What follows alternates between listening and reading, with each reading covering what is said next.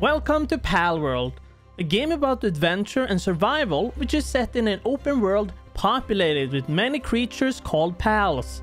They all have various elements which you can use for building or combat. I have 100 days to explore as much of this beautiful island and discover as many pals as I can. My goals for this are simple. Catch all the legendaries and complete the Paldeck, make an awesome base and defeat the 5 faction bosses. But without further ado, secure your snacks and drinks and join me in the world of Palworld. Well, well, well. Waking up to some weird creatures staring at my concerned face. It seemed like I had been in a shipwreck and I woke up to a tablet in the sand. The towers are the key and the tree holds the truth, whatever that means. Keys of them legs is thick. what? This was also my first time playing on a dedicated server. I actually tried it a bit on single player and it was so freaking good. There were so many options to spawn at which made it very hard for me to decide. It's 5 stars on everything. I mean, we're God Games, okay? We don't need this. Oh my goodness, there's so many options. After a few minutes of deciding, we locked on our target, Seabreeze Archipelago. Spread you out. We saw some new interesting pals on the beach for sure. This elephant teapot was kind of funny looking. What is that thing over there? Is that like a mad Teafant? The technology system is very similar to Ark Survival, which I absolutely love. There was even an egg on the beach that I didn't know what to do with. Okay, okay, so now I had to give my guild a proper name as well. Bruh. If you do enjoy this kind of content, make sure to subscribe and liking the video. this beach was horrible. There was literally nothing here except two half bulky girls. There were a few water pals around, then a bronze sheriff, which is in fact the boss. I finally came across some trees so I could get the workbench going for tools, so I just smacked a tree until I was able to make that workbench. The night was approaching quickly, which means it will get cold and dangerous, so I have to make a box house really soon in hopes of surviving. The area here had a few pal balls here and there, so I just picked them up. By the end of the first day, I finished up the base since it was just a bit chilly outside. On day 2, I had to get the pal box going for claiming a base spot so the base wouldn't decay. And the pal box also helps to store your pals. Oh lord, my starter house was still missing a bit of roof protection. It was honestly a bit frustrating getting the last pieces to fit. Definitely some weird building mechanics. I grabbed a bit of stone so I could make a pal sphere so I could go capture one. Then I tried subjugating a monkey, but I got completely wrecked by them. I'm gonna die to monkey! Oh my god, like, what can I do? I got ganged up by them. Nope. The axe didn't do nearly as much damage as I hoped, so I made a club instead. I was underestimating how powerful the club was, and I killed my Lamball. Oh no! I found a couple of Chikipis that I could capture.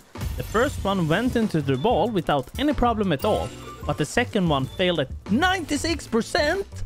There was also a few of these eggs laying here and there I could grab, but they didn't seem edible at all. There was a cute helpless firefox swimming in the water that I rescued. So, on the pal box you can assign pals to work on things within your base, like farming, building and such. Sometimes it's very easy to get burnt when cooking food within your base. Oh hell! I'm gonna die to my own campfire! I wanted to get some kind of range weapon so I queued up a bow in the workbench. I was gonna let my pals work on it, but despite me saying that, I didn't really understand how to make the pals work on the things I assigned them to yet. I gotta have a bed down as well, in case I die and I can't find my base. Then I placed down some pal beds so my worker pals wouldn't get stressed out and riot against me. That would be bad.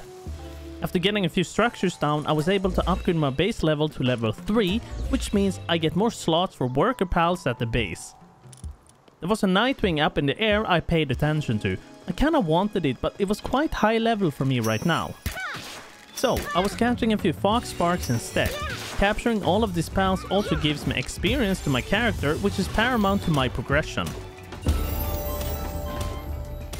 I stumbled upon some funny looking Chikipis chilling in the water. This is what makes the game great. Afterwards, I captured my first Lamball and then I picked up one of these chests.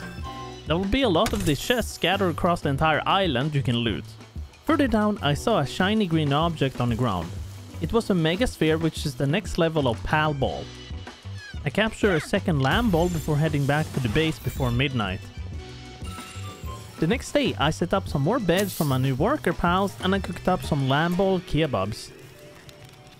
Dude, my chicken is so useless. It's just jumping around in the base. It's not doing anything. Meanwhile, the lambs were carrying things and giving them to me.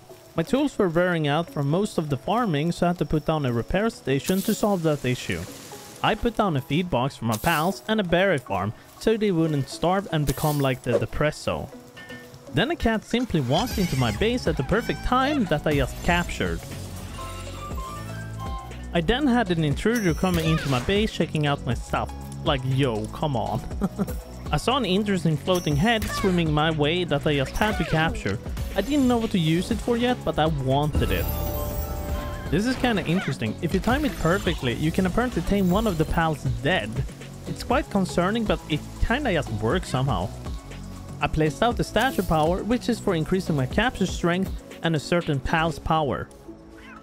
A bit later, I placed out one of these pal gear workbenches, which is for making saddles and such for your pals. I only had to place down that workbench to further upgrade my base level. Well, we ran into a problem where the server stopped responding. It's lagging quite a bit actually. I can't destroy this tree. What? Oh, I, Oh. I DC'd. Well, there goes the server. I queued up a passive shield that will help absorbing damage since capturing some of these pals hurts. I also made a parachute since gravity is really not my friend. I also discovered that sliding was a thing in the game. That's some good stuff right there. Okay, since I had a farm, I had to manage it myself since I didn't have any pals to do it for me. I had some monkeys outside my base I could try capturing to do the farming for me. One of them got destroyed by my workers. And by the end of the night, I picked up one of these green effigies, which is for improving my capture rate. I ran around capturing a few pals for my tutorial thing. While I was farming, I had a few visitors come over to look at my awesome base. Me and Johan went out for a trip and I stumbled upon these dorky looking birds, the Tocotoco. They can apparently suicide bomb. What? In the distance was King Sweepa, a roaming boss that could be killed or captured. Capturing all of these pals makes me run out of pal spheres very fast. So after a bit, the gang spotted the dungeon and wanted to try it out. There are a lot of thugs in this dungeon to get rid of as well. They drop a lot of goods. I require this Mao. Then I managed to find a path towards the boss, which is a combat. I just had to wait for the gang to catch up. The fight was over quickly and no one wanted to capture it. At the end of the dungeon, there will be two chests to pick up for blueprints and other items. And then you can simply teleport out. After we were done with the dungeon, we ventured out to scout around the place. I got myself a Direhowl. I saw some ancient civilization kind of structure in the distance we were heading towards. On the top of this cliff there was a red chest that required a silver key to open, but I didn't know how to get any of the keys just yet. Apparently the mountain was incredibly hot up here, so we had to skedaddle. Oh my god, it's so hot down here. Up here. Okay, leaving the mountain, boys. We ran into a couple of dinosaurs. They were cute, but dangerously powerful. Akiza died to one of them. Oh my god, it killed me. I was gonna try my luck at capturing one. I got it. Nice. Towards the end of the night, we had to leave Akiza's body since it was gonna get cold, like her corpse. On day 5, Akiza came running into me heading for her body bag in the super dark forest. After a lot of running, I could finally see my home after this scary adventure. And as soon as I got home, I replaced that stupid monkey with the dinosaur, which went to bed immediately. What? There was a roaming Nitewing near my base that could be a potential flyer to use in the future, so I did my best in capturing this avian. And a bit later, I placed out a logging site structure. This particular structure is used for pals that can automatically farm wood for me. There is also a stone variant. So after farming a bit of wood, I was able to make the crusher now. It can crush down rocks into paldium, which I use for various pal things. Upgrading the base was also quite important since I will be able to use more pals to do my farming then. Much later, I was gonna meet up with the friends at the Broken Shirt, and then someone took down their PAL box, which booted us off the server. Whoa! Oh, What was God. that? I think it started lagging because uh, Mike is running in place for. Oh, Oh, yeah. yeah, it, it crashed the server! Oh, I was doing things. After we got back on, I grabbed the flight path and I caught up to Kisa. Okay, are you ready to see this cow? In two seconds. Yes, let me see the You ready to see what we put in, paid an exorbitant amount of money for? Oh my god! It's worth it. thick. well, it's worth it. That's kind of funny. It's beautiful. We were looking for one of the dungeons to attempt together. There were so many red bars in here, you can almost think that they're enemies. Well, it continues. Oh my goodness, what is this? Ooh. oh, this one's new. I've not seen this one. Yeah. Okay, what kind of boss is it? Oh, If it shares of this is mine. I found the dungeon. yeah, you you can have a Charizard. Oh, it's just Yeah. No, Johan, take one of the boxes. Oh yes. I want this one. This one looks cool. After we were done, I got back home. I made a harness for my Direhowl so I could ride it. Traversing around the map on foot takes just too long. I put up a hot springs to help with the sanity for my pals, while I heard some shime kind of sound. It was a shiny Cattiva right outside my base. The Cattiva had some quite unique abilities. Oh, what is that? By the way, shinies have uh, special attacks. Awesome. I put up a forge now as well so I could get some ingots made for some better weaponry and tools.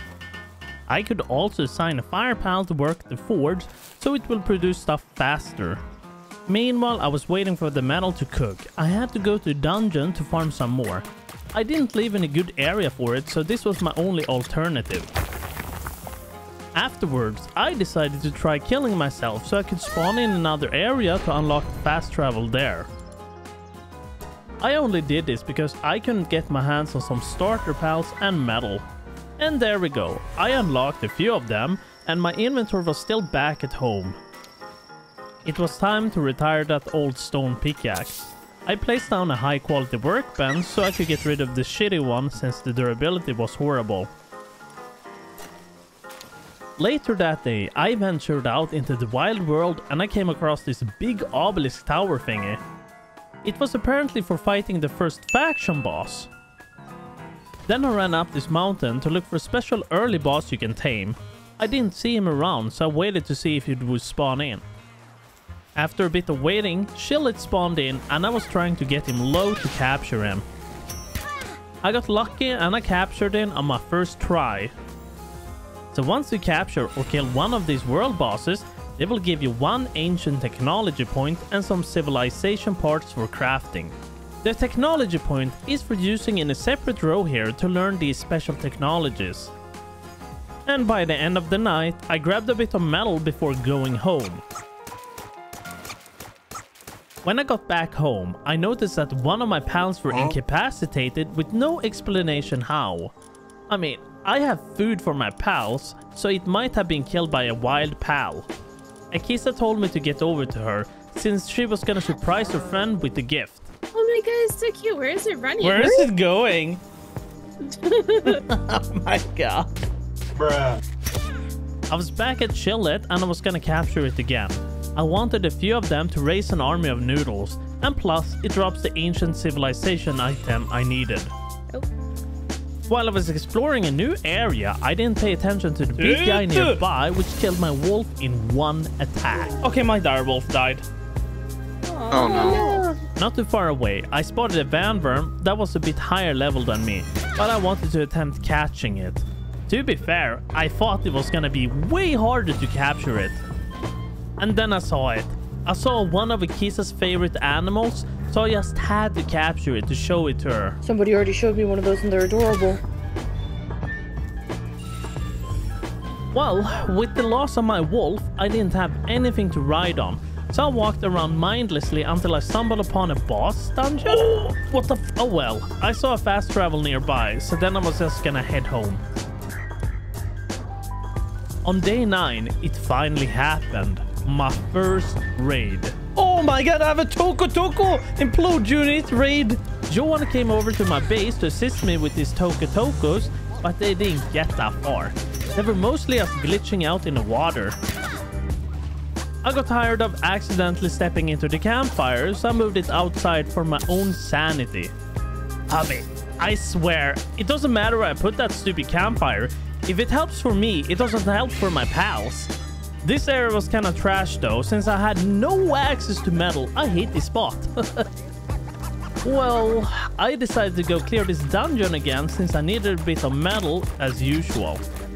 But when I got to the boss arena, I couldn't see the boss at all, and the door at the end was closed. I guess I didn't clear the dungeon enough? Aw, come on. It finally spawned in a boss, but it wasn't an exciting one. Oh well, the pelt armor green blueprint from this box here wasn't bad at all. At least something good. Okay, it was time to attempt capturing my first Sweepa boss. I wanted that big boy experience. It was getting way too close for me with his minions. They do so much damage. There was also a Gumoss nearby, which is in fact easier than Sweepa. On day 10, I put out the ranch. The ranch will produce all sorts of interesting stuff like wool if I put some Lamballs in it. Then I made the worst mistake ever in the game. I entered the dungeon with only 30 minutes left on it. And for some reason, I couldn't get the boss to spawn in, nor find the exit again. I believe the door closed on me, so I was literally stuck in here. The exit was open again after like 20 minutes of waiting, so I managed to escape this hellhole. Alright, back at the base, I decided to make my first crossbow. I was tired of this twig with the string, it didn't feel powerful enough. I was once again fighting Sweetmouth to hopefully capture it for experience, but he died initially capturing him. Despite that, I unlocked the new Megaspheres and a Sphere Workbench. There was also this PAL Essence Condenser, which can be used to merge multiple ones into one strong being. I was inspecting what kind of roaming world bosses I could take down. I couldn't see anyone in my kind of level though. There was even a level 45 Jormuntide on the map. I didn't see it, I must have missed that. So I went out there to take a closer look at it. On my way there, I had to capture an Arsox. I don't know what to use it for yet, but I needed it to complete my Paldeck. A Univolt might come handy as well, or maybe just for sheer experience. I came upon an empty camp with an imprisoned pal. That's literally free XP. Okay, it was now time for some revenge. I spotted the Relaxaurus that killed my wolf from before, so now I'm gonna capture this goofy looking dinosaur. Finally, I had arrived at the lake where that level 45 German Jormuntide was hanging around. But then, I got attacked by some kind of water serpent. It was annoying me a lot, so I just captured it. I decided to leave instead, since everything was just too high level for me up here. I didn't feel like dying. I was more worried about finding a new base location since metal is incredibly hard for me to gather in my area. By the end of the day, I captured a Chillet instead, basically trying to level up to level 15 so I could make a saddle for my Nitewing. The next day, I decided to go and capture a few more bosses for experience. I managed to hit level 15 on the Gumoss capture. And that means I unlocked the saddle for my Nitewing so I can get into the skies. On my way back home, I spotted a Cattiva Shiny that was super easy to capture. Oh well, I got back to my base to discover that one of my workers was dead again. Like for real, how? How did he keep dying? Oh well. To get the Nitewing saddle, I was missing out on a few items, so I went out to gather it. Just a bit of more cloth, then I was able to craft up the saddle. Yay! Now I got the flyer, so now I can go off exploring for more possible base locations. I finally saw something that caught my eye. Visually, the waterfalls looks very cool, but that's not what's so cool about it. It's what's on top of it. I can basically build my base around all that metal. I don't have to travel that far to farm it. This will be a very good potential for a base. So early into day 13, I was taking down a few things in my starter base to prepare to move to the new location. I was slowly coming up with some sort of a base ID. The plan was to split up the base in two, so putting half of it down here and the other part up the stairs. I honestly wish there was some snapping for foundations, for ceilings and stairs, but this was gonna be good for now. I was scrolling through the technologies and I saw some defensive walls I kinda wanted, but it was quite high level for me to get now, but something I will work towards at least. Then I put up some boxes so I could move my resources over here from the old base. Luckily my old base was built very close to fast travel. Moving the chunky wood and stone was gonna be a real challenge since it was so freaking heavy. So I built a box next to the teleporter to ease the transportation. Well, moving this would take a few times. I had to take down the rest of my base as well. And by the end of the day, my old base was gone. So I kind of wanted to go with an open style kind of a build so the pals wouldn't get stuck inside buildings. It was also very difficult for me to decide where to place everything. I usually have my builder Akiza to back me up on this, but she wanted to have her own base. And while I was building my base, the game decided to raid me. Oh, you gotta be kidding me. Why is there a raid? What a perfect timing. God damn it. So, I kinda just went out into the wild again to take down some world bosses because I was so tired of just building. And when I came back, it was time to continue on the building. it's day 15 and the base was still somewhat under construction. I was liking the layout of the land here so far. Akiza then later came over to look at my new spot. She was impressed that I had access to metal literally one feet away from my base. She didn't like the build at all though. I was then building my cozy base that I would live inside. It was gonna be kinda default for now until I could come up with some better ideas for aesthetics. I had to block off the lake so my pals wouldn't jump in and get stuck in the lake. Or possibly drown. I don't know if that's a thing though. Okay, well, it's day 16 and the base was still under heavy development. It's also kind of funny how you can literally just pick up the pals like they're just a big ass plushie. I went over to Chillet again to try capturing it for experience, but I overestimated my skills and got completely Oh well, I got back to my body safe and sound, but now Chillet had healed up to maximum, just because I was an idiot. Slowly gaining some momentum to glide jump was incredibly fun as well. I put out the medicine workbench by the end of the day, which is for making medicines for all of the pals whenever they get sick or annoy me. On day 17, I had made the second floor for my pals so I could place out more beds and such. Then I ventured out into the wild to collect as many of these red bears as I could. My pals were constantly in pain and hangry. This was only temporary for the moment until my bear farm could produce enough of its own. I decided to give the Grintale a try, quite a ferocious little kitty with a very concerned smile. Holy Jesus. Okay, that was easy. On day 18, I was standing AFK while I was having a raid, but apparently the raid spawns under the base? Huh? what? They literally line up in a pile for me here. Wow, that was satisfying. Back at the base, I placed out a mill which can process wheat into flour that I will need for a lot of cooking recipes. I am Mike Oliver now. Then I placed out this huge looking cylinder thing. It's just a PAL essence condenser for merging multiple PALs into one. I started the next day by queuing up the table for a green pelt armor set and farming up the metal ore. I just love how close I live to the metal now. I don't know what the hell happened, but my pelt armor is still not finished. These pals, I swear to god, they're slacking off like usual. They need punishment. Finally, there we go. I got some upgraded armor, so no more of this paperish armor. I don't want to die to stupid lambles or anything similar that would make me bald. I was curious what kind of cooking recipes I could make with the flour, so I queued some of them up. Hopefully this time a pal would come work on it. Wishful thinking, Mike. Wishful thinking. Oh, we can make some bread. Oh, wait. That's kind of straightforward. Wow, I didn't know this was a thing. Jam-filled bun sounds delicious, especially 10% more defense bonus. Akiza snuck into my base with her stupid creepy cat that looked like it was from some kind of anime.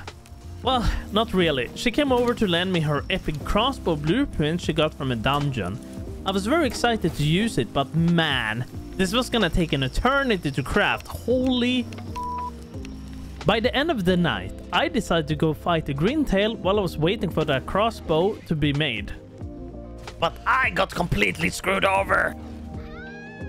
Getting back to my body was kinda scary since it was cold and dark, but in this case the game devs were actually kind and made every pal sleep when it's night.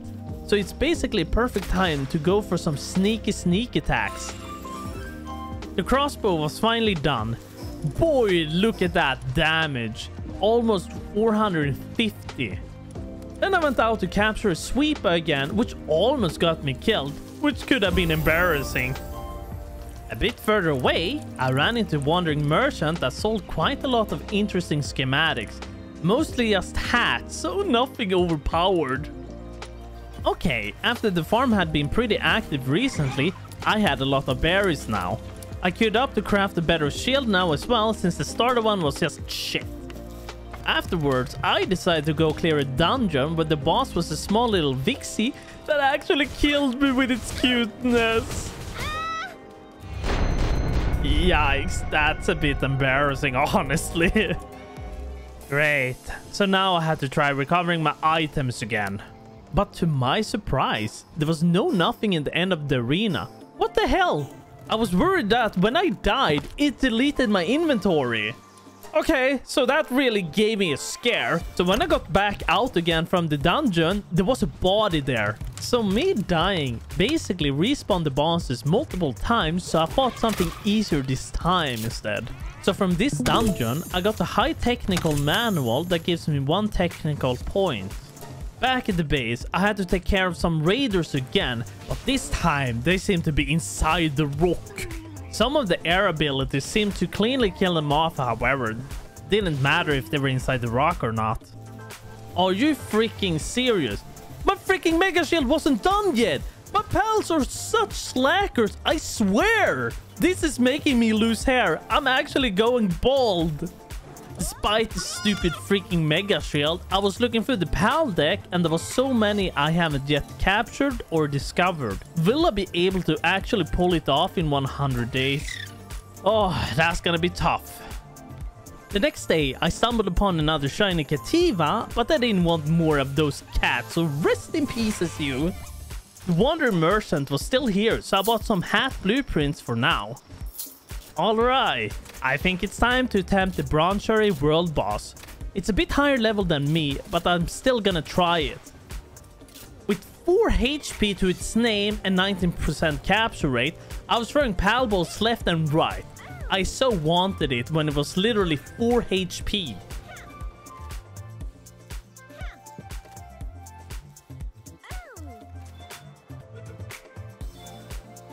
Oh, that feels good. Capturing something that is higher level than you is always so satisfying. Okay, well, Akiza was back at my base. She was gonna drop off the pelt armor blueprint she borrowed, so I gave her the hat blueprints that I knew she would like. Akiza wanted to go on an adventure with me, so I teleported over to the Gobfin's turf, only to get shredded by the Gobfins. My Nightwind didn't last that long. I died. Well now, I had no flyers, so adventuring on foot is gonna be dangerous. I'm not sure where Akiza was heading, we mostly just ran around until we saw something interesting, I guess. We actually saw something crazy. It was some kind of ancient civilization building that I didn't know what to make of. On day 23, I ran into some weird ass looking bird. I wanted it. It was goofy, kinda looking, and super easy to capture. We were heading to one of these islands up in the north to visit our pal Johan. But before we were heading there, I wanted to attempt capturing this Nitewing boss. Yeah, I thought it was gonna be harder to catch, but nothing's too hard for the Pal Master. Well now, I could replace that old hawk for the boss variant. He was a thick boy. Then we ran into Johan. He was on the beach visiting the merchant. Look when he's walking. Johan built a cute little base next to a big massive hole. I kinda forgot that the game had emotes. The dance emote was kinda whack, not gonna lie. Oh my god. What is going on? Akiza did some spins of her own or became literally Beyblade inside Johan's house. The next day, I wanted to attempt the Penking boss. He had these stupid Pangolin minions that were scared. I didn't really pay attention, but I think my Broncherry one-shot it. I was just too slow to react. I was looking in my map to see what bosses I could attempt instead, but all of these were like 10 levels above my own, so it didn't feel like such a great idea to be honest. After doing a Sweepa run, I ran into shiny Lamball close to that, so I tried capturing it. It might produce wool faster in the ranch if it's shiny. Well, I had hit level 20, so that means I could finally make my first Gigasphere and some weapons eventually. That's poggers. Dealing with the casual raids were not as bad anymore, especially for the easy lineup. While I was opening some wild eggs I incubated from my adventure with the Kisa, I noticed that my friends were literally stealing my medal. Johan was having trouble with his game and apparently Vast told us that there was a respawn button. I didn't know that at all. Or do the respawn thing in the start menu. What? Didn't even know that was an option. I did not know that was an option. I didn't There's a respawn. Well, well, we are all walking towards the first boss. We still haven't done it. No. So on Yeah. day 25, it was finally time to go into the first again? boss fight. But Yeah. apparently, Akiza went in alone without us. Why am I the only one in? So in the meantime, we were all strategizing how we were gonna do this boss fight. Alright, here we go.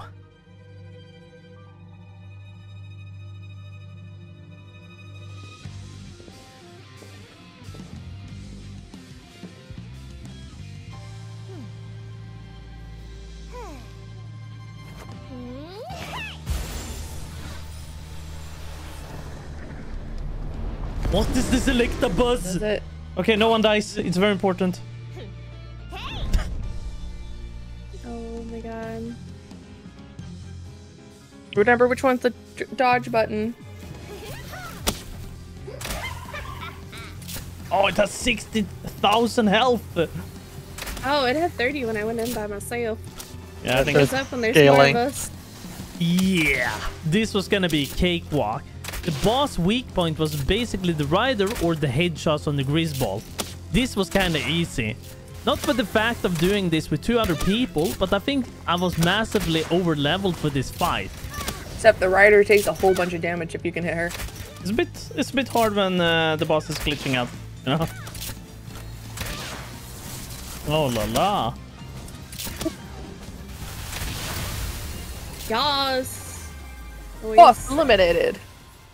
And once you beat the boss fight, you unlock the fast travel on top of the tower. I was a dumbass and my ass fell down the tower, but I didn't die from some reason. Ow! I'm pretty sure I would have been a pancake. They wanted to do the boss fight again, just for some experience. Woohoo! Alright, since I was the appropriate level, I wanted to upgrade some of this stupid wood to stone. Because I've seen on Twitter that people have lost their builds to pals that rage you with fire and burn down your whole house. On day 26, I placed out one of these large toolboxes, which improves the handwork of speed of pals and myself. So something very interesting happened to Akiza that she wanted to show us. Where's her house? Oh, what? My house? It's You gone. mean the one that was there? I had ventured out quite far into an unknown territory, but there was a few Vanwyrms which frankly did a lot of damage to me. Then after that, I went over to the Syndicate Tower again to take down Zoe and Grizzbolt for some easy levels. After I defeated the tower boss, I went over to Shelly to capture him again and I finally hit level 21. And that means I unlocked the musket gun. That's my first gun. On day 27, I forgot to mention this. Since I hit level 21, I unlocked the Vanwyrm saddle, so no longer do I have to fly around on that Nitewing. Then I ship down the metal like usual in my base. Man, it feels so good having your own personal metal ore spawning within your base. On my way to the Bushi boss, I got attacked by a couple of Vanwyrms, so I had to capture them since they were a nuisance. Okay, so Bushi seems to be somewhat of a samurai and my Vanwyrm was completely useless against him. I saw that my health was incredibly low, so I was a coward and I hid behind this pillar. Yeah, that didn't end well. His stupid attack was just too fast for me to react. Old man, old brain, you know. I no longer have the reflexes of a 12-year-old like I used to. Alright, I got my gear back and I decided to do a tactical retreat for now. Back at the base, I had a Tundra outfit queued up so I would be able to visit the snow zone next to my base at some point. On day 28, I had a lot of these stupid Gumoss that I just condensed into a singular one. I don't know what to use them for really. A bit later, I captured one of these Mozzarinas and they produce milk you can use for recipes as well. Back at the base, my Arsox and Vanwyrm were cooking me up some fatty pancakes for me to enjoy. My Mega Glider was also done crafting as well. I'm not exactly sure what it does, but I think it reduces the stamina drain whenever you use it. By the end of the night, I decided to go fight the grass boss again my hoarding can never stop. I gotta catch them all for experience, obviously, and the Paldeck. The next day, I ran into Mercenary on the beach with a wounded knee. I just helped her get into the gulag. Screw it, it was time to check out this dragon boss here. It was a really cute one called the Quivern. It didn't do too much other than just stand there and look cute until I was overwhelmed with attacks. Okay, it wasn't too difficult to catch, but boy, the saddle required me to be level 36. I'm level 22! I went over to Akiza to check out her new base she was building and also to show off the Quivern. That's beautiful. I want one too. Honestly, this was a pretty good spot for her because of the metal right next to her. Alright, here we go. Round 2 of trying to catch Bushi. The fight wasn't too bad now and I managed to capture him without dying. Me first time doing Bushi was kinda rough. I discovered I had unlocked something called a hip lantern that would light the way for me during the dark nights. Then I was crafting up a mega grapple gun. I was kinda curious how cool it would be to be a Spooderman. While it was being crafted up, I went over to attempt Katress, and the boss fight wasn't as hard as I thought. Yes. Oh, nice. Then I got a raid from one of the most dangerous beings in the game. This herd is the very ones that will burn down your house, and this time around, they were walking up the mountainside which leads to my base. I felt completely useless, exactly like my walls. They just walked through it like it wasn't even there. They just walked through my base. At the start of day 30, I was just collecting my daily dose of metal. Then after that, I went out to the desert area for my first time to look for possible new pals to capture. But I don't want any of these stupid Tocotocos. There was this weird looking fish flopping on the sand called a Dumud. I didn't know what to use it for to be honest. I decided to fight off these stupid bandits, which was a mistake. No! I got back to the camp and I rescued that locked in pal. There was something really exciting, a turtle called Digtoise. I definitely wanted it since it looked like an absolute beast. I then flew into this pal called Anubis. It was an extremely high level, so I skedaddled out of there ASAP. Way later, back in base, I was crafting myself up my first weapon, the musket. Then I just had to try it out. Damage output was impressive, but the reloading speed was shit. The next day, I was fighting off a weakened Mammorest, 13 levels above my own by the way. It killed my Vanwyrm in an attempt to weaken it more, but I managed to capture it with one of my Gigaspheres. Phew! It's always satisfying capturing something way above your own level. I actually stumbled upon a small settlement but there was a merchant here I could buy stuff from or sell. That is gonna be extremely handy in the future. Then there was also this pal merchant to sell your favorite pals to for some gold. I didn't see too much value in gold right now, but it will definitely come handy in the future. Then I was placing out a flame cauldron, which will speed up the process of the forge. I'm not quite sure how this keeps happening. Most of my pals get stuck outside the base all the time. Okay, it was about time to try out these new Digtoise, so I was crafting up a headband for it. Okay, I did some reading on Twitter, and he told me that Digtoise was one of the best ones for mining. Metal, oh my god. On day 32, I went over to the tower boss again to fight the Grizzbolt. I was just curious to see how powerful my musket was. 1000! Oh my lord! Besides saying that, I should have grabbed a lot of more bullets for this. I finished the fight with my last true bullet. Then I went into a dungeon next to the tower to grind up some paldium for spheres. It was quite expensive for me making spheres without that paldium. Okay, so now I crafted up 300 coarse bullets for my musket since I learned not to walk around with 10 bullets for a boss fight. Some of the stuff you get from boss fights you can actually sell it to the trader for quite hefty amount of gold. I mean the roaming world bosses, not the tower ones. Oh my god! Okay, that was a that was a good sale. I had to go over to Kisa's base to show off the dig toys. She got some ideas what she wanted now I'm sure. Holy Beyblade. Oh my god. I logged into all of my pals starving and being depressed, overfull and god knows what else. I had to go through them individually and force them to eat the sketchy medicine I bought from the trader. Alright, this time I went over to Johan's place since he has a boss dungeon right up here I haven't attempted yet. Nothing frightens me more whenever they get out of the pal sphere and I attempt to capture them and they chase me down instead. It's downright scary.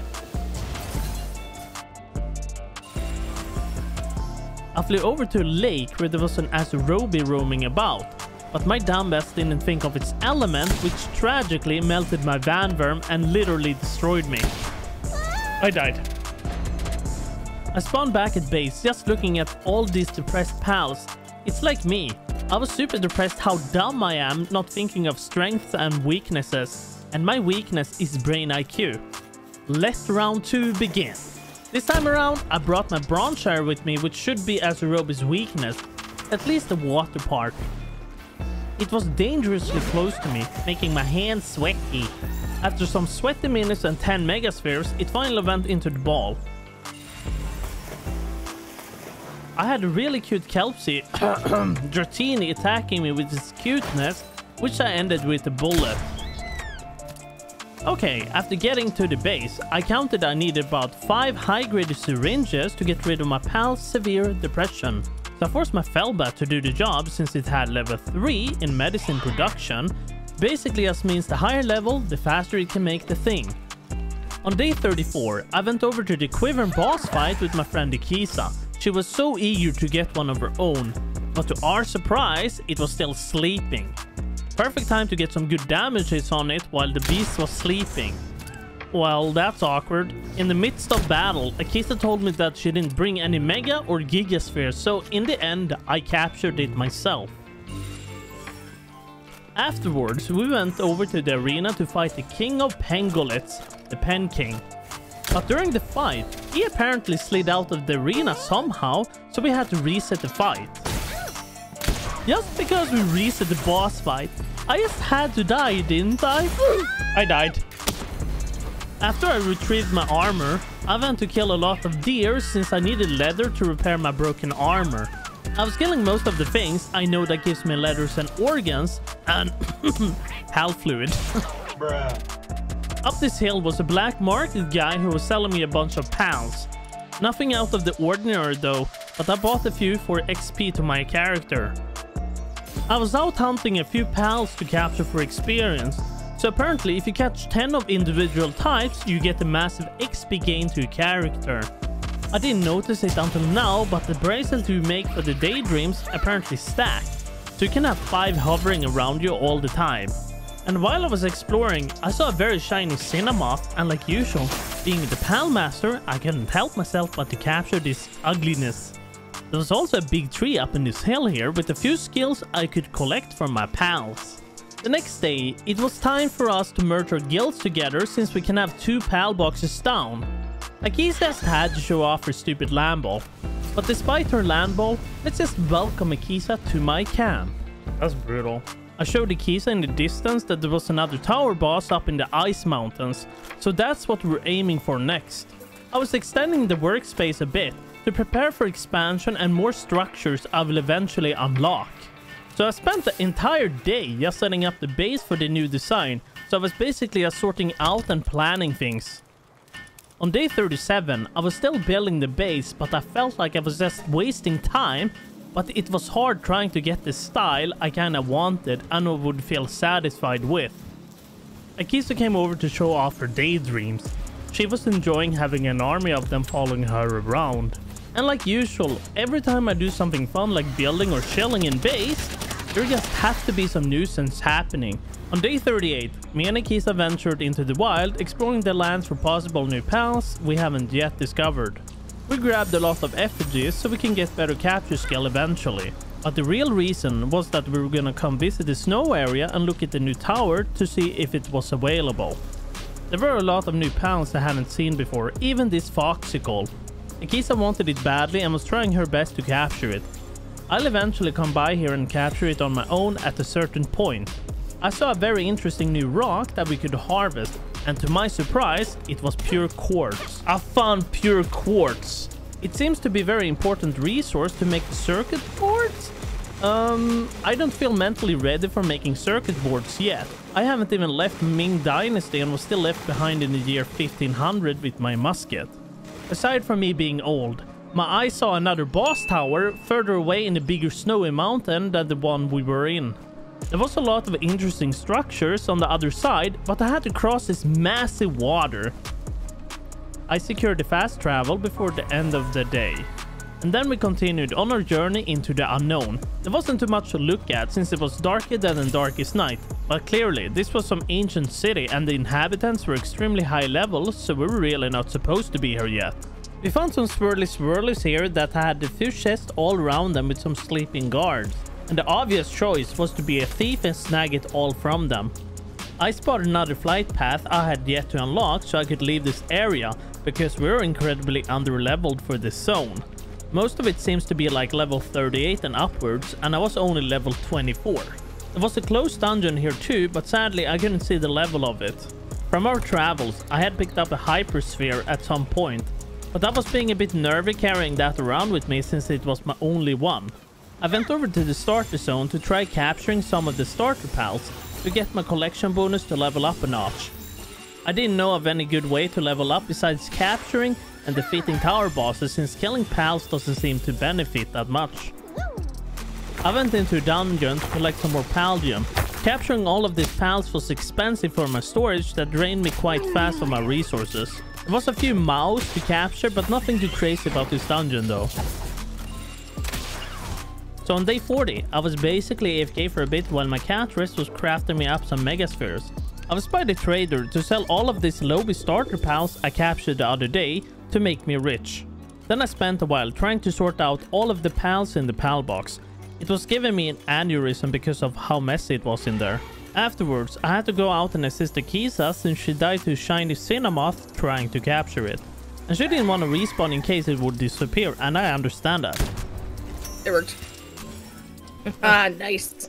A bit later into the day, Akiza had found a level 29 dungeon she wanted to visit. While she was dealing with the infestations of the cave, I gladly took some paldium for myself. Then we found some weird passageway through here. I didn't know where this was leading us to, but I was assuming it would lead us to the boss fight, which turned out to be a big disappointment. I hate these guys, and they are not even worth my time capturing. We each got one chest, and the one I picked up gave me a blueprint for a handgun. Then back at the base, I was looking at the quality of the pistol, but I do wish it could tell you how much damage it does before you actually craft something. After I had finished sorting out my pals, I went back to the trader to sell the rest of them. Okay, so now we're gonna have to go back to the basics, at least for the bow. I was annoyed walking around with the mining pick, shipping starter pals low in HP for capturing them. It wasn't really to my liking. Akiza found another cave that we had to clear as well. The blueprints are important to get, so imagine if you get like a legendary pistol blueprint or so. That would be sick. Boss fight, however, was easy and disappointing, like the freaking loot. The next day, Akiza had some interesting pals raiding her, so I kinda just want to capture one of these, um, unique looking pals. Alright, it was time to go out there in the wild to capture some more pals to level up. I made the mistake of attacking a group of Tocotocos, which ended my life in a heartbeat. So after capturing a crap ton of pals, I decided to pay the Penking a visit. Man, these Pengullets were crazy and almost had me freaking killed again. I saw my health just dropping and dropping. Okay, so this felt stupid. But I upgraded the capture rate now in hopes of it improving. Dying to Pengullets felt shameful, at least in my mind, since it's literally a starter pal. The next day, I was still out capturing pals to level up until I ran into someone's base out here. I didn't know who it was, but it wasn't Johan or Akiza. Doing daily visits to the pal trader was becoming a norm now. That was also good for my gold hoarding. Honestly, the day was kinda boring and I was just capturing a lot of pals and then decided to come clear this dungeon real quick with some easy levels and loot. Well, it's a new day and a new daily dose of metal spawn to harvest. Then I went and captured another Quivern with only a sliver of health left. That was scary if anything. I felt pretty ballsy and wanted to try out my first Relaxaurus Lux. Huge looking blob of fattiness with a lot of damage. He really just one-shot my Broncherry. What the hell? At least my Digtoise was effective against him since its weakness was ground type. It didn't take me too many Gigaspheres to capture, but I was pretty happy with the achievement of capturing and defeating my first Relaxaurus boss. I got a pretty good passive skill for it too, which I was pretty happy with. Ferocious skill with 20% damage. Oh baby. On day 45, it finally happened. I was finally starting to change up the base a bit to prepare my pals for the upcoming slavery level in the Millennia Age. I decided to make the second floor above my pal beds my actual house, since I needed most of the space in my base for all of the other things I were about to unlock eventually. The placement of the gate made me feel very unhinged, but other than that, the base was starting to look somewhat of a real camp. There was a shiny Beegarde below my base I really just had to capture. I love shinies since they are super rare and have incredible damage output. Yeah, you got her. Alright, on day 47, it was finally time to get these assembly lines placed out so I could put my pals to good use. I mean, they have been very useful to me already, but they will be more efficient with better working stations. To get some of the assembly lines working, I had to place out the power generator to make them usable. My big chunky guy would now come to good use, generating power from a generator and such. He looked quite happy at least while doing this, so I wasn't gonna complain. I queued up some cement, and I could have more than just one pal working on the assembly line. Now that's what we're talking about. Working, building and fighting together like a real team. Oh, I also put out the stump and axe structure that will help with the production of wood. So, Akiza had all of the points into decoration, so she was decorating my room and she was done now. And I must say, this was super cozy. On day 48, my Giga Shield was finally done crafting, so time to get rid of this lowly Mega Shield I've been using for a while. There was all sorts of cool stuff I could make on assembly line now, quite an amazing structure. So a bit later, me and Akiza were gonna go and explore the volcano region together. It's basically at the left bottom corner of the map. We were mostly curious what new things we could find here, and also Akiza wanted to consider looking for a new base spot as well. The mountains here were quite intimidating since they were so fiercely tall, and my Wyvern wasn't exactly the best with stamina. There was a really cool Ragnahawk here too that looked like it could be a fine upgrade. Akiza spotted an egg on the other side of this pool of lava, but I wasn't gonna take the L of dying over a stupid egg when there were literally eggs scattered all across the place. A bit further into the region, I think I saw one of the first dungeons. it's level 40! I wasn't exactly sure if it was such a great idea to come visit this one just yet. There was a lot of cool stuff, especially this ruined castle. And then there was another dungeon with the same kind of level tied to it. Yeah, where we're gonna have to level up a bit to try attempting it. By the end of the night, I wanted to try capturing this Raptoro. I had a crap ton of eggs I wanted to open up back at home as well. The next day, I flew into a cave with Zapdos. Sorry, I meant Beakon. Since it was kind of my level, I wanted it. I was trying to be real careful, and with my 10% capture rate on the ball, I managed to get my first Beakon. To get my saddle, I needed only a few more levels to make the saddle, but it shouldn't be too difficult. I'll eventually get it either way. I went out to level up a bit more so I could get that Beakon saddle. Akiza got apparently a kitten from one of the eggs she picked up in the volcano region. It was a really cute doggo. On day 50, we were on our way to the boss fight Mossanda Lux, but I saw something really cool on the internet recently. So if you're capturing a pal, you can apparently climb up on a sphere and as soon as it's about to be captured, it will launch you far up into the air. That's a great feature right there. The Mossanda Lux wasn't too difficult at all to fight. However, the saddle I could make, I saw something about the grenade launcher. That really had me intrigued. I need that. A bit later, I then finally found one of the cutest pals I've ever seen in the game, the Elphidran. It was cute, but it was dangerously strong. I had to keep myself away from its godly attack since it would surely one-shot me. Oh my lord, the tornado was a heat-seeking and it wrecked me completely since my shield got depleted from one of its attacks. Okay, round two. Let's be a bit more careful this time, shall we? Yeah, nope. That stupid Robinquill ruined everything. It was gonna be perfect if it wasn't for him butting in.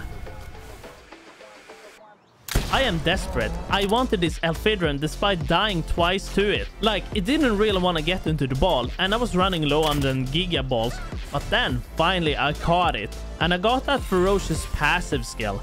This is gonna be a freaking beast, but also cute.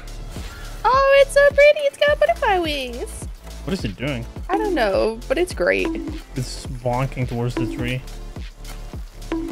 The eggs were finally ready to be hatched. I managed to get a Wixen and a Ragnahawk from them. Quite good, actually. The Ragnahawk had Kindling level 3, so it was my best one yet for heating up the forge. And Wixen had Handiwork level 3, so definitely a big upgrade. So I put her to work for making me the Mossanda Lux grenade launcher, since it was gonna take me forever to craft that thing. I went over to Johan's base to show off my Mossanda Lux with its grenade launcher. I noticed that there was a slightly bad idea to use the weapon among so many trees. It was causing a lot of frame dropping. A bit later, we went over to Petallia to take her down since I haven't defeated her yet. But using the rocket indoors caused her to be pushed out of the arena apparently. Uh, Mike, I think you blasted her through the wall. Really? So we had to redo it without the Mossanda Lux. Okay, girl, you got 11 health. Get in the dang ball.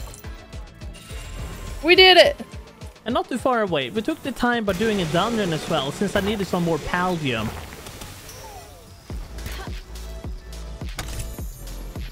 When we got out of the cave, I saw something incredible. Helzephyr. It was a Helzephyr. I so wanted to catch this one, but the capture rate was horrible. Hmm, I don't know what I will be using it for, but at least it's good to have for the Paldeck. It was time to put my workers to good use. I was in need of spheres badly since I kept running out of them when capturing all of these pals. I then placed out the high quality hot springs for the pals that should help with their sanity so they wouldn't riot against me. Alright, I was running out of space in my base so I weirdly placed down the ranch in a sketchy spot. So hopefully they don't go through the floor. I just didn't have any space for the breeding farm here. It was a tough situation. The base spot is cool for farming, absolutely, but when it comes to total use of every structure, it's just not possible here, unless I make an IKEA, which I don't really want to make. the next day, I promised to help Akiza to get her own Elphidran. She wanted this cute monster. Unlucky for Akiza, she died, and I tried reviving her, but the Elphidran finished its prey. Akiza was using her strongest pal, Lambert, who couldn't even take one attack without almost dying. The Elphidran was as low as possible, so I tried killing off the rest of the wild ones around the area. But Akiza had suddenly died to it, so I was gonna throw a ball to give me more time to revive Akiza, but then I catched it instead. That wasn't really the plan, but we'll go with it. I had to snatch a Cinnamoth nearby as well. Oh my god. Akiza had died again and I had to rescue her. I came across the shiny Gobfin, so I tried my best trying to capture him. His minions around him were incredibly annoying and had to be dealt with. After throwing a few balls to his face, he was finally captured. I was gonna be a nice lad and I gave it to Akiza in case she wants to use him for any breeding. Oh, he beautiful. A bit later, I was out looking for the Elizabee boss fight, but I couldn't see her around at all. I thought the game was bugged or something, and I spent a good few minutes circling the area and searching and searching, but nothing. So I just gave up. Then I went and fought Warsect instead, some big massive buggo. I was thinking it was very similar to the Heracross. I had to try fighting off the Mammorest because it's day 55, I think it was about time to do it. He wasn't being too much of a threat anymore to my pals, but capturing him was a different story. I finally caught him after a few gigaballs, so it wasn't too shabby. I was now able to make the improved furnace, the Beakon saddle, and a lot of other goodies I would need. So I immediately placed down the improved furnace. Also, in the improved furnace, you can start making a new type of ingot called refined metal. This is used mostly for weaponry. There seemed to be some kind of trouble with the mill, which had me wondering what the hell was going on. Then I went out into the sandy area again to grab a bit of coal because I was running low on it. And since I was here, I had to grab another turtle to use it for some more farming. I had placed out the Palbox in the desert so my turtles could collect the coal for me in a super convenient way. I had to put the dump box near the Palbox at my base since I couldn't really move whenever I was encumbered with stuff. Weirdly enough, I had a raid out here in the desert with only a Palbox and some turtle. It was kinda funny to see the borbs just getting knocked over by the explosions. And back at base, I hatched some more eggs for some easy experience. I think it was time to try making myself a better pick. I wanted that refined pickaxe because it sounded way stronger and should probably last for a lot longer. When I was out, I stumbled upon the most incredible area yet. It had both metal and coal in one spot, which I needed a mass amount of. So I put my Palbox out because this would be a permanent spot for now. It was just too good to let go, and since we had people playing on the server, it was a good call I claimed it before someone else did. I had to build up a few beds and a few other things so they wouldn't get cranky, which are kinda like now. We have already gone halfway through the days and I yet haven't defeated a second tower boss, but that was about to change because today is the day.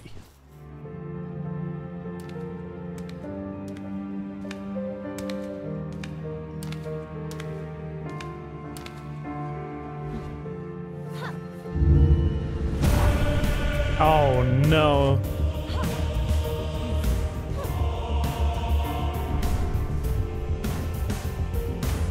We were met with the girl who brought in a grass type kind of a pal. Get him, Lambert. What are you doing with that one? Oh, it has 100,000 health to see that. I'm not gonna be surprised. This was kind of obvious for Kisa what she was gonna bring in. Oh. Oh, she's glitching out. We have this now. Oh, you go on tap. Did you see that? It help? Definitely helped. I missed. Oh god, that was wrong. The Kitsune is doing good. Gotcha. Ouchie. Maybe, maybe not. Oh my god. That was a hard boss. Oh, what? My Beakon died! But hey, we finally took down our second tower boss. Then we went over and attempted Verdash, which was a bit bugged. It was stuck in the Michael Jackson type of emotion and then suddenly started attacking again. It was being difficult with me and almost killed me. Wow, I'm almost dead. The capture rate was incredibly bad and I didn't really have any better balls. But after a few minutes of just throwing some balls, he finally went into the Giga Ball. Then I went out to capture a group of goofy Relaxaurus for some experience. Man, I both hate and love these Relaxaurus. They are goofy looking but very useful. A bit later, I went to quickly go do dungeons since I wanted some more experience to level up. The boss was a huge Tocotoco, which I definitely wanted to catch. My true spirit animal here. a goofy ass bird. I managed to find a mine shaft close to the lake that I was curious where it was leading to. And to my surprise, it was one of the world's bosses. So that means that some of them live in caves and not only on the surface. So about that Elizabee, hmm. I was gonna make it low and try capturing it for the Paldeck, but I recalled my Beakon too late and it killed it. So I went over to the merchant to buy a whopping 500 arrows since it was unbelievably cheap compared to using my own resources to make them. It was just for carefully lowering PAL's HP for capturing starter PALs. I wanted to get myself an assembly line version 2, but I was in need of circuit boards, and making polymer was kinda expensive. I went over to Kisa's place since she wanted to try breeding a Cryolinx and a Robinquill together, because apparently you can somehow breed interspecies and get something else in return. But in order to start the breeding process, she needed cakes, otherwise they wouldn't produce an egg.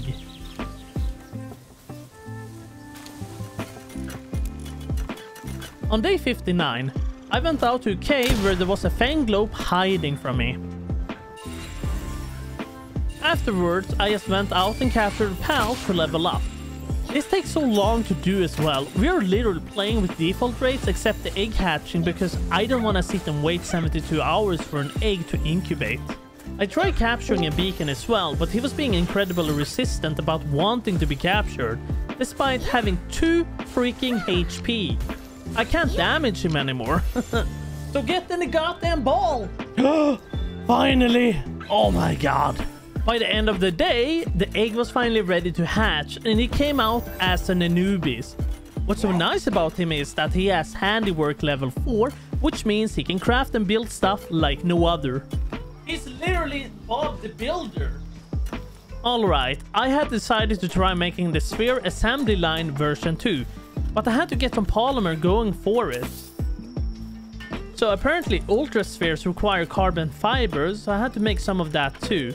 You could choose between coal and charcoal to make them. Akiza had another egg prepared for me, so I went over there to pick it up. And then back at the base, I was finally able to make some ultra spheres. They were gonna be great to use. And then we're back to the boring part. Capturing more pals for experience. On this day, I went to the black market seller and I bought some pals and I spent the whole day just capturing a bunch of pals for experience, so nothing too crazy, just me repeating myself. I was just waiting for the egg to finish incubating, I was curious what it would be.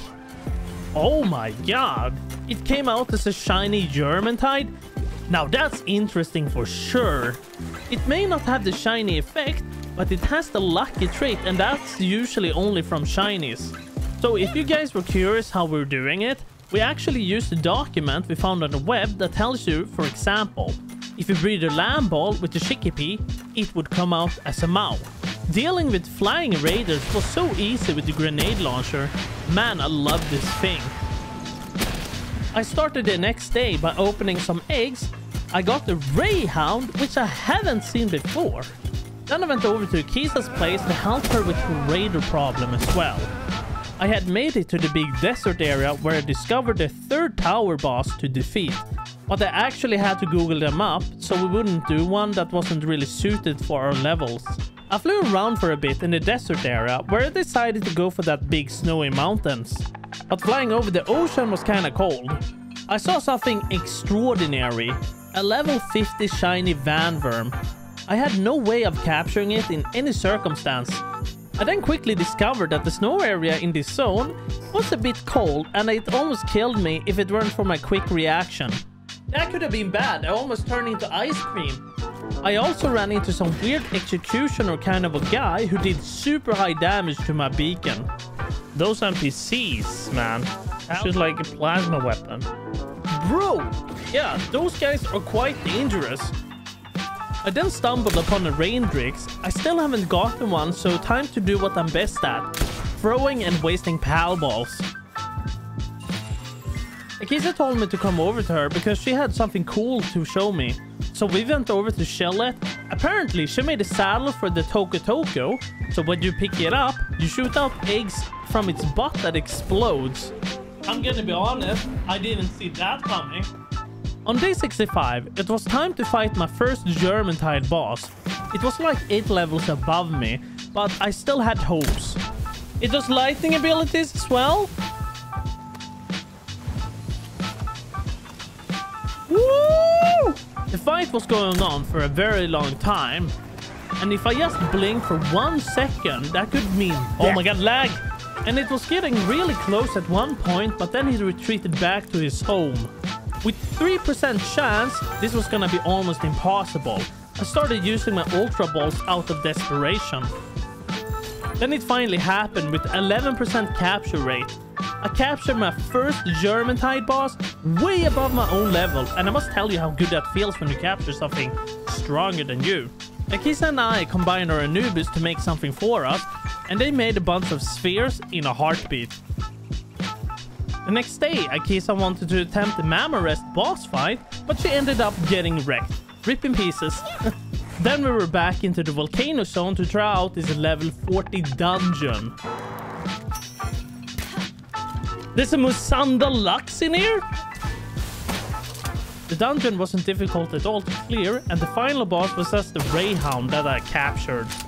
Akiza had found her new base location where she wanted to move to. The ground was flat and it was pretty. There was a cool looking pal right outside Akiza's new base. It was dead easy to capture though. But there I saw it that really caught my eye. A Pyrin Noct. Oh no, don't kill it! I wanted this so badly. It was so cool.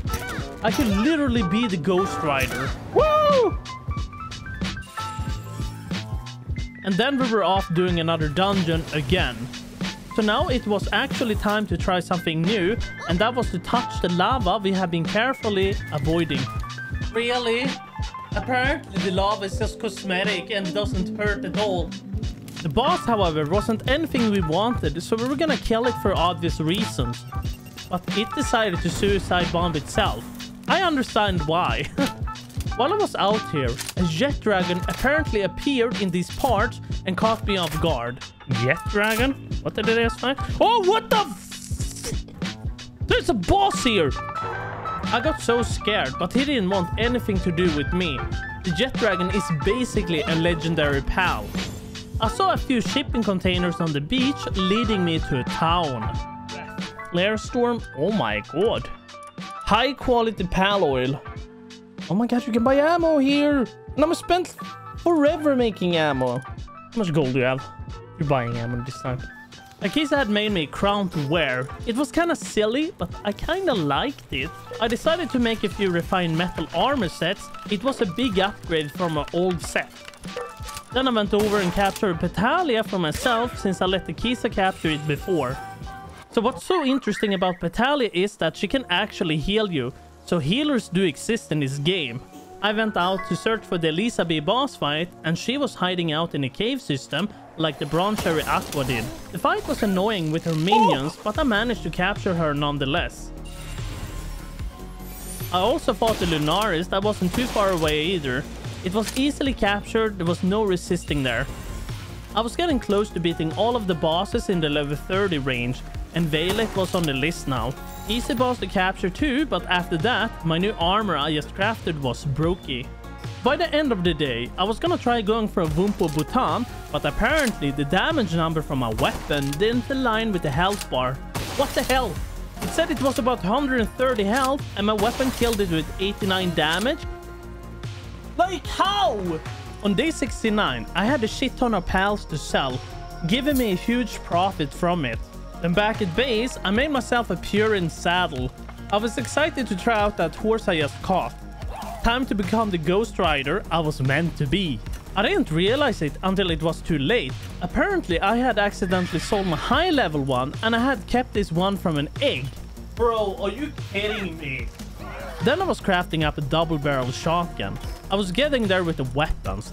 They were just so expensive to make. Alright, so it was time to try out the shotgun fighting the Lyleen. it was kinda decent. And by the end of the day, I was looking at the Kisa taking down her beautiful base she had. but she wanted to live in that new area we found. I was just doing a quick dungeon run in the volcano region to capture a lot of pals. And then something extremely bad happened. I managed to get stuck inside the walls and then we were standing above the dungeon. I didn't know what to do in this kind of situation. I didn't want to fall into pitch black hole or anything like that in case it wouldn't save my inventory. But hey, I had a great idea. What if I throw a flyer in just the right angle, then mount it to get out? And what do you know? It actually worked. The boss was just a Dinossom Lux, so I captured it. The loot I got was pretty good. It was a blueprint for a heat-resistant refined metal armor and a technology point.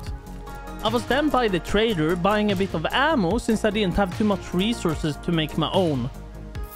And then I went by to look at the Jetragon. It was incredibly good looking. I wanted it badly, but I was not ready to capture it just yet. There was a dungeon nearby, so I went in there instead to clear it.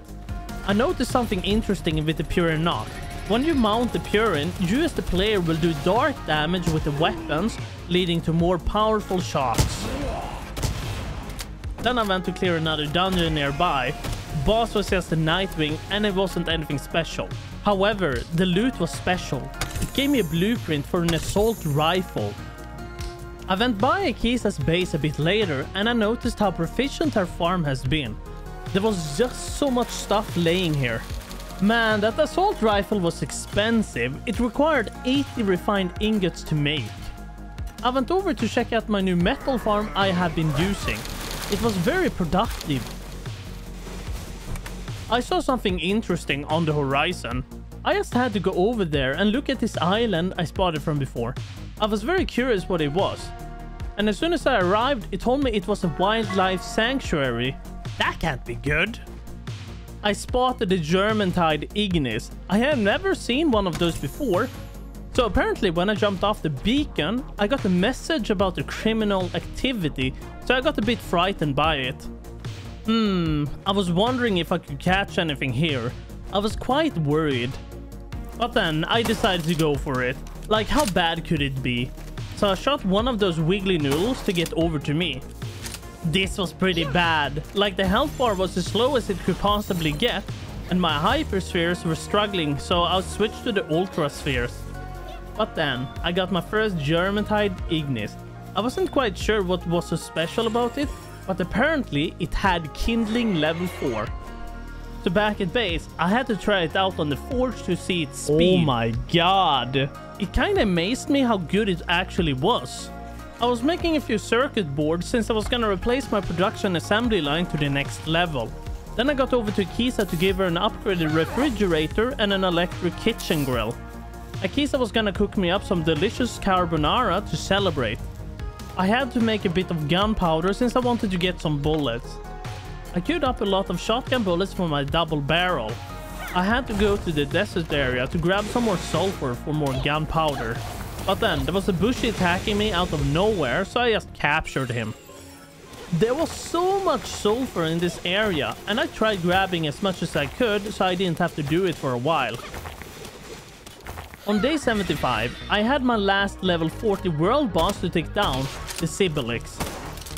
The fight was easy, and I was being careful not to kill it so I could capture it. Afterwards, I went into the wildlife sanctuary down in the south to help Akiza. There was a lot of Penkings around this part, so I could capture them for some easy experience. There weren't just Penkings around, there were a few others as well. So I spent most of the day just flying around here and capturing a lot of the Penkings. And some other pals. I had just so many of these now, so I can sell them for a good profit at the trader.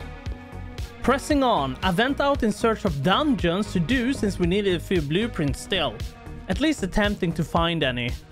There was maybe one or two that resembled a dungeon, but they were closed up unfortunately. Finally, after flying around for a while, I went ahead and cleared the dungeon ASAP. After I got out of the dungeon, I got attacked by all sorts of pals, so I had to capture some of them for experience at least. Sometimes, I hate designing worker pals to something. Bruh. It always goes to something different than I'm pointing them at. By the end of the day, it was finally time to make this green assault rifle I've been craving for a long time now. I had to go over to the trader to buy some more rifle bullets because today we were gonna try to attempt the third tower boss, Brothers of the Eternal Pyre.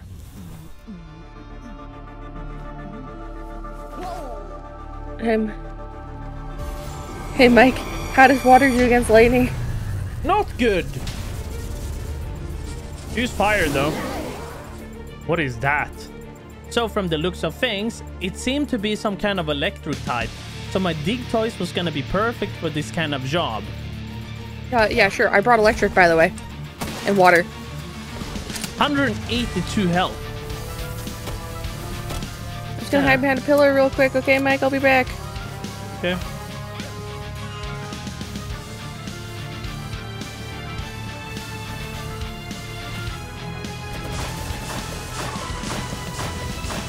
I was incredibly close to getting killed. I was barely walking away with any HP at times. Don't do that. That was something I didn't notice until now. But why is the Kisa walking around with a bow? Why are you using a bow? God damn it. I think I got killed by some sort of fire debuff. I'm dead!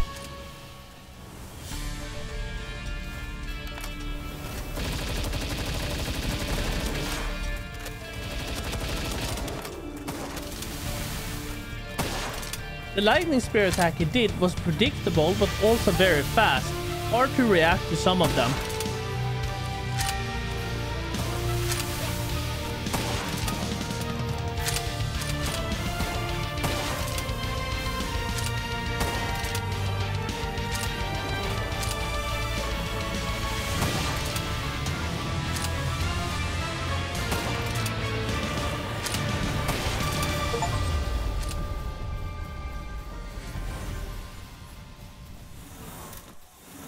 But we finally got our first Axel and Orserk defeated. Only two more tower bosses left. We can do this. I went over to the Mammorest boss to quickly fight and capture him for some high quality pal oil. We were gonna work on getting an assault rifle for Akiza as well. I don't have to look at Akiza using a bow on a boss fight. So I decided to give Wumpo Botan a try again since I still haven't catched him.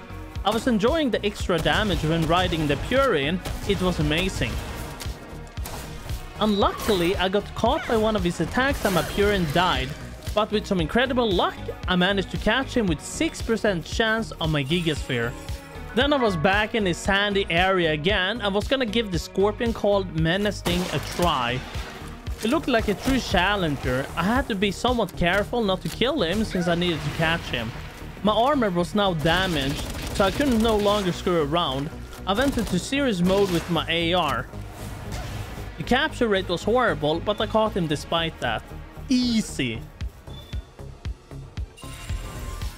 The very next day, it was time to take on Astegon. The arena was incredibly dark in here too, making it very hard to spot him. Oh no, get, get him, Lambert. As soon as we got him low, I basically spammed my spheres despite it being low chance. I was kind of desperate, so I just kept on spamming balls. Alright, it was now time to learn the legendary sphere and get a better furnace. We are getting close to getting legendaries. So, the new furnace allows us to make the pal metal ingots, which will be incredibly important and expensive for us to use, but we need it. Making these ingots seems like it will take a good while, even with kindling level 4. Later into day 80, Akiza and I were gonna try attempting a level 45 dungeon up in the north. We were mostly curious what we could find in here and we tried avoiding the guards, at least some of them. After clearing some of the guards, I saw my first Ice Reptyro in the cave, so it was time to capture it. The boss inside the cave wasn't anything out of the ordinary, it was just a Vanwyrm Cryst. We tried capturing it, but with us almost dying to it, we gave up and just killed it. I got a pretty good necklace from the drop at the end, which increased my defense by like 200. And not too far away, there was another dungeon we went over to clear. The boss was literally just an ice Reptyro, so we were gonna kill it. I didn't care enough about it. Me and Akiza were up to no good and did some shenanigans back at base. It looked so weird having worms stacking. I was back at the snow biome to catch myself a snow Mammorest, but he was being a nuisance and not wanted to get into the ball. Up in this ice area, I stumbled upon something extraordinary. A Frostallion? It's apparently one of the legendaries in the game. Oh well, we went over to do the Ice Kingpaca fight instead. I wasn't feeling mentally ready to attempt my first legendary just yet. I still wanted the legendary spheres if I'm gonna attempt it. After we were done with the fight, we flew up to the tower boss of the north. This was indeed the last boss fight and we still haven't done the fourth tower boss. Alright, on day 82, it was finally time to make some legendary spheres. I do want to attempt capturing a legendary very soon since we are running out of days. I also queued up the stun baton because with this stick right here, you can apparently stun your target when they get electrocuted. That will increase your capture rate when capturing pals for a brief amount of time. So the plan today was to attempt the Frostallion alone. So I threw everything I had at it, but I didn't account for how little damage it actually takes. The music that was playing during the fight was just amazing. So this is kind of weird. When it charged me, it went right through the mesh and disappeared.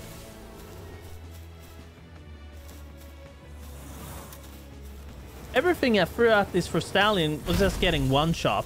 I just kept retreating my pals back and throwing them out, but they all fell one by one. This was hopeless. Well, all my good pals were done, so it was just time to give up and try again later. I came back for my armor and then I quickly skedaddled out of there. So my plan was to try leveling up my Ragnahawk for the fight, so it gives me another firefighter against that legendary Yay. boss.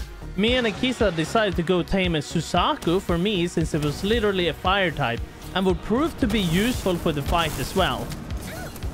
I was trying out my stun baton, but it was sometimes difficult to use it on this flyer since I couldn't reach it with my short legs. After like 40 Ultra Spheres, I couldn't do it anymore and I used one of the Legendary Spheres and it captured instantly. So Akiza told me to come home since she found something that will prove to be useful. It was a green blueprint for a pump shotgun. Oh, I can't make the shotgun. It is so expensive! And so by the end of the day, I just had to get one instead of using the double barrel. Alright, so it was now day 84 and the plan was to take down the fourth tower boss.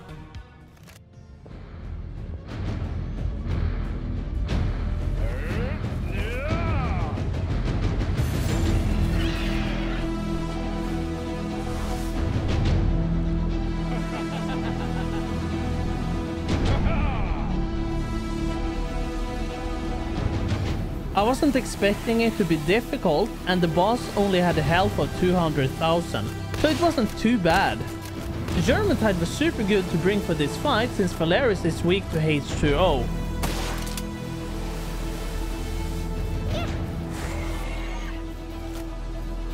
Wow!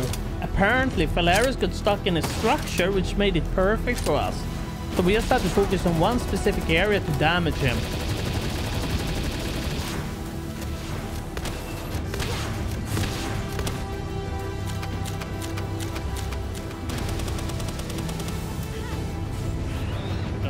Ready? 9k. Ooh, that was like 5k, dude. Ah, that does so much damage, dude. Alright, now we got the fourth tower boss defeated, so the only one in the north was left. But in order to defeat him, we will probably need some legendaries, since it's basically the last tower boss and could prove to be a problem for us with our current setup. So I think it's time for round 2 of Frostallion. This time around, I got Akiza with me to help me out. We were severely under-leveled for this, but we were gonna give it an honest try. Ow, I'm frozen. Akiza was very unlucky and got literally melted down by the boss. But hey, with Akiza's death, the boss actually got stuck in a rock. This was actually good for me. Since it was no longer moving around, I could focus heavily on headshots for maximum output. I noticed that when I'm riding the Ragnahawk, my weapon returns into fire damage, which damaged the boss severely. But I didn't want to risk of losing it since it was my most important pal right now. The Frostallion got out of its prison and it charged towards me, ignoring my pals. I had to be extra careful and get my pals back in their balls before the boss would strike with a one-shot ability. What the hell, Akiza? It did 10 damage. Did he... Did it just one-shot that? Yeah, just one shot my shiny Relaxaurus. The highest level creature I have. Go Lambert, go Lambert. Oh! Bye Lambert. This fight went on for so long that my shotgun actually broke mid-fight. Weapon is damaged. The Frostallion was finally under 1000 HP and I was getting close to finally being able to capture it. Just a little bit more, we can do this. I was nervous about killing it too, so I recalled Suzaku just to be careful, but he got one shot by a charge attack. He killed my Suzaku, he wasn't even close. I didn't have many pals left to my name, and a broken shotgun didn't make it easier.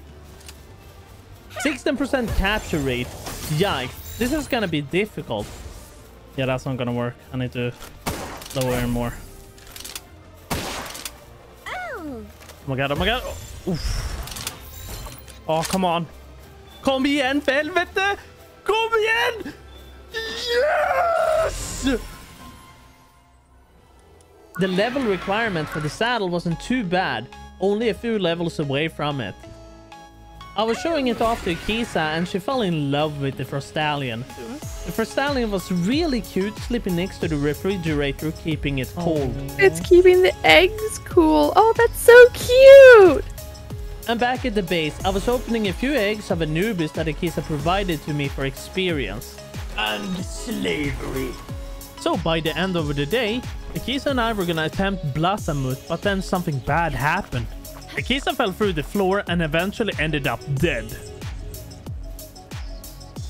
Alright, it took Akiza a while to get back, but hey, then it was time to do the Blazamut boss fight.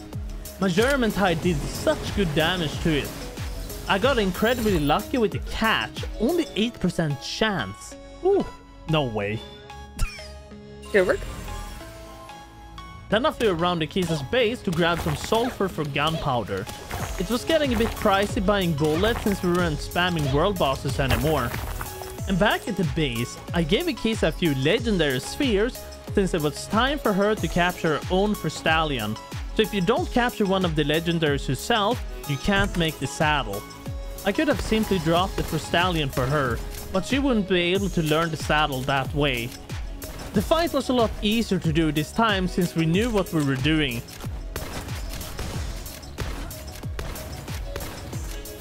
Like this boss is absolutely no joke. We have to be super careful. We learned from last time that it has abilities that one-shot. I even brought in a grenade and it was dog shit.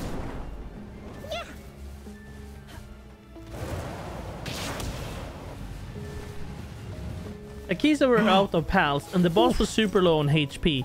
I even got the stun baton in action to help Akiza with her capture rate. It was scary since I got so close to it, but I had no other choice. And again, the Frostallion bent into the mesh. But suddenly, it teleported back onto the ice. Oh? Oh? It did it!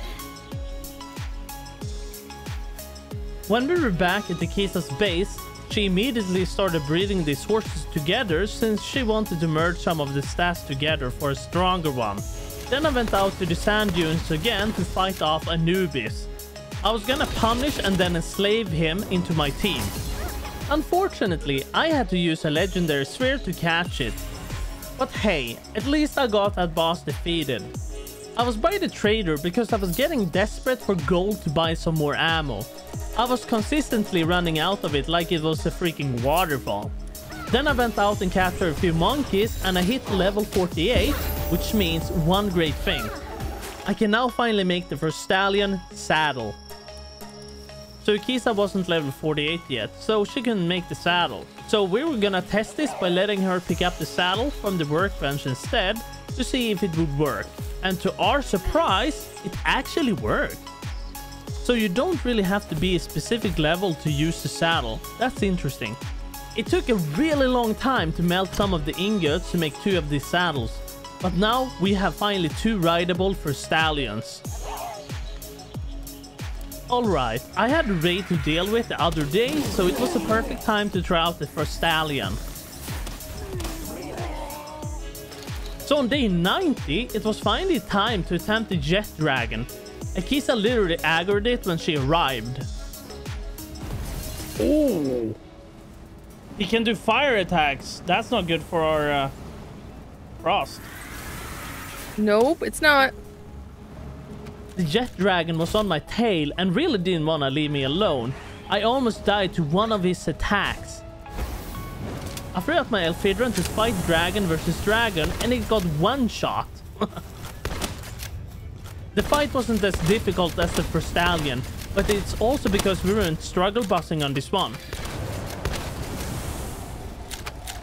Whoa! Oh!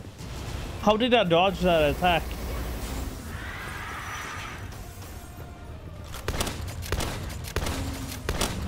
Akiza tried avoiding one of his attacks, but she fried. Oh, I'm down. I was gonna use a stun baton on him, but he was just too far up in the air and I couldn't hit the Jetragon. So after many legendary spheres, I finally caught him. Oh my goodness. Oh my god! Woohoo! On day 91, I had to do what I have done on every single day. Farm metal. We needed a lot of ingots for bullets. We were at the desert zone again to fight off the Dinossom Lux boss because I still haven't defeated it. I really couldn't make it any lower. 1 HP! You literally can't get it any lower. Your odds cannot get any better. It's just sort of like, get in the ball, please. Oh, finally. Since we were in the zone, we figured to look at the last legendary pals to capture, Palladius and Necromus. The next day, we were fighting Lyleen Noct. I still haven't done that one. The abilities it had were very similar to the Frostallion. Oh, that seems bad! Woo! Capturing these high levels was almost impossible with the Ultra Spheres. I had to use my special legendary balls.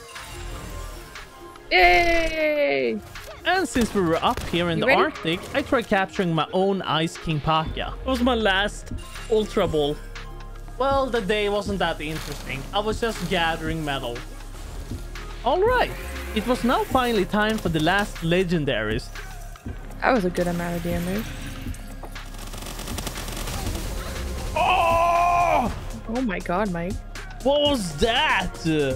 Necromus was Naruto running towards me while we were trying to heavily focus on Palladius. So, Necromus did one simple attack and it ended my life and the I died. stallions. Oh? So I rushed back to assist Kisa because we couldn't let the chance go to waste after all of this effort.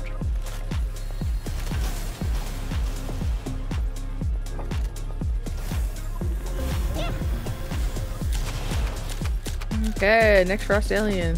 Akiza got melted as well, so now I was all alone Oh here. Oh god. Oh god. Okay, yeah, that killed me. I tried my best to stay alive until she would arrive. Otherwise, if we both die, they will heal to maximum. They started running away from me for some reason.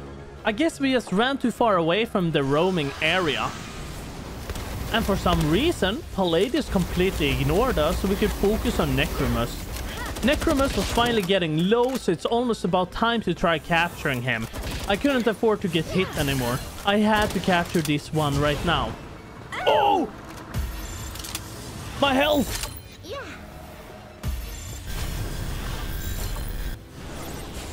Akiza came over to electrify him so we would get more capture rate.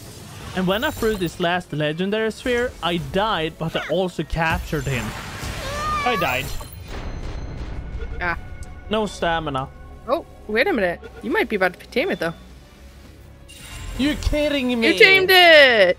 when I died as well. The fight had been going on for such a long time that my Frostallion had fully revived. And since I caught Necromus, I threw him out so he could attack his friend. Oh yeah. I was carefully reducing its HP with the AR. And then we ran in with our stun batons.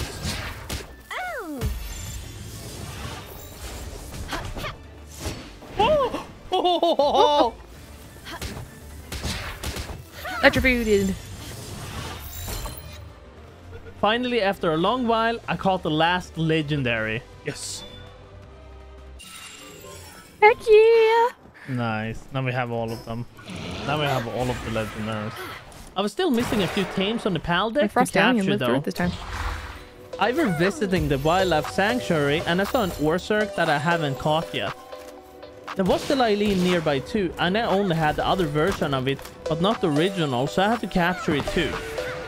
It seems to spawn all sorts of weird pals like this Astegon, but I was actually looking for something called a Shadowbeak. And for some reason, I had discovered it, but I didn't spot it. I even rewatched the recording over and over several times, but I saw nothing. I went circling the area multiple times in order to get the Faleris or Shadowbeak to spawn in, but nothing. Akiza had a few things to show me in her base, some frog shares, and a Pangolin TV. A freaking Pangolin TV? Are you serious? Since I couldn't find any Shadowbeaks, Akiza actually bred one for me that I only had to incubate for now. Then I flew over to the first wildlife sanctuary where I spotted the Grizzbolt that I haven't caught yet. On day 97, I finally spotted a Faleris. This is the first sign of it and my time to catch it. I managed to get spotted by the guard, and the best way to get rid of it was just to reconnect. Alright, Akiza and I felt ready to attempt the last tower boss.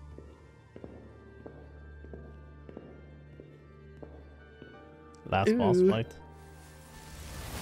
She looks so spooky. Obviously, we're fighting Rogue from the X Men. Or Storm. Storm from X Men.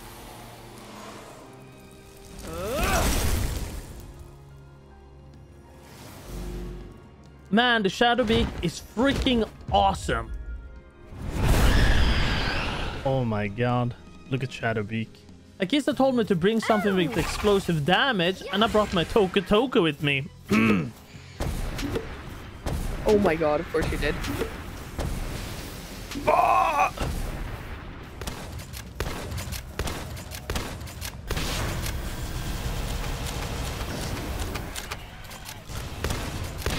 This felt pretty much pointless. We didn't have enough juice to defeat this boss. After a fierce battle against time, we just didn't have enough damage output to take it down. So we failed against him with his 14,000 health. I'm out. Yeah, we were really not ready for it, and now we're pretty much out of resources to make bullets. Alright, now my Shadowbeak was finally ready to be hatched. It didn't have any amazing stats, but it was mostly as for the Paldeck. So now we were once forced to make bullets again and prepare for the boss fight. And by the end of the day, we were cooking up a lot of ammo and then a saddle for Akiza's Relaxaurus. We decided to spam the Axel boss fight to level some of the pals we had. It was just in order for us to take down the Shadowbeak boss fight, we needed a pal that had good dragon damage. So basically, Chillet you can get from the starter zone is basically the best one for taking down the Shadowbeak, since dark types are weak against dragon damage. And Chillet applies dragon damage to my weapons when I'm mounted on it. So we forgot about the enhancing of pals, so we used a lot of these souls to make them stronger. Alright, we were back for round 2. We opened up by blasting the boss with everything we got, so we got as much damage as possible in the start.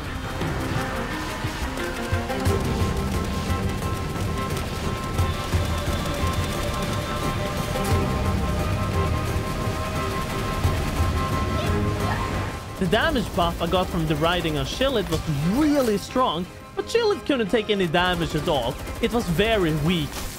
So I threw out my other pals in the meantime, Chillet was passively healing up.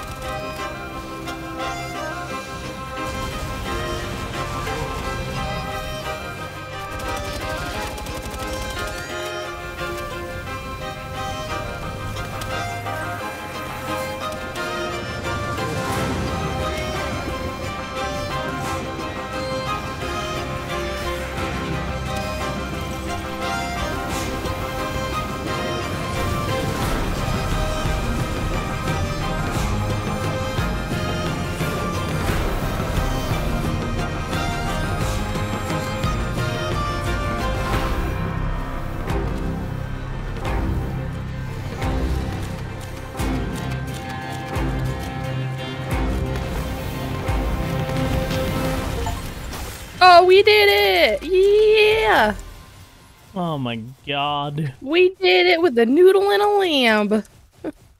And that is our last tower boss down, finally. I was looking through the Paldeck and we discovered I was only missing a Broncherry Aqua and a Hangyu Cryst. So Wakisa was gonna breed me up a Hangyu Cryst while I went out to capture the Broncherry. I flew out to the snow biome and I finally spotted it out there, but sadly we had gone past day 100. It's sad that I was only missing the Hangyu Cryst and it only spawns on night. But yeah, I might not have completed the Paldeck in time since I was only missing that particular one. But I got all of the tower bosses defeated, I built the cozy base and I catched all of the legendary pals, so I kinda see this as a victory. But despite all this, I hope you guys enjoyed the video, so please consider subscribing and liking the video so I can continue releasing good content for you guys. And maybe check out the rest of my videos if you made it this far. Thank you.